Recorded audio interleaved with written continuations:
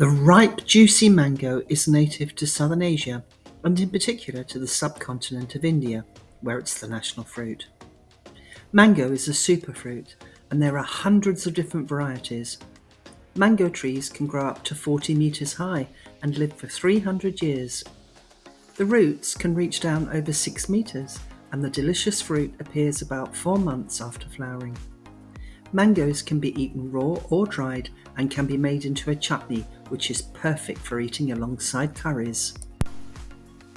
They're associated with the sacral chakra and the solar plexus chakra, as their orange and yellow colouring suggests, and are a great source of vitamins and minerals, as they contain vitamin A, vitamin B6, vitamin C, vitamin E, and vitamin K, as well as antioxidants.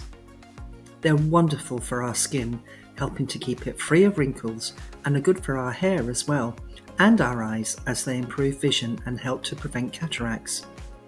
They assist to combat diabetes as they lower our blood sugar levels and they stimulate the sebaceous glands as well as prevent IBS and constipation. Studies have shown that eating mangoes lowers the risk of developing heart disease and helps to improve brain health and strengthen our bones.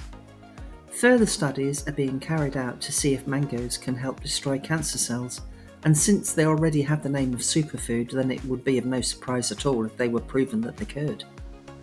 This juicy fruit is also known to have aphrodisiac qualities. Surely there can be no better way to spend a hot afternoon than sipping a mango tea under the mango tree.